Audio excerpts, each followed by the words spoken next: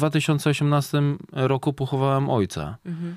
I dwa tygodnie później pojechałem na Mistrzostwa Świata i byłem trzeci. Płakałem, bo e, byłem e, z rekordzistą świata na krótkim basenie e, z Mitchem Larkinem na podium na trzecim miejscu. I on mówi, czemu ty płaczesz? Ja mówię, bo mi dwa tygodnie temu tata zmarł. Ojejku. On mówi, a co ty tutaj robisz? Mhm. Ja mówię, bo to zrobiłem dla niego.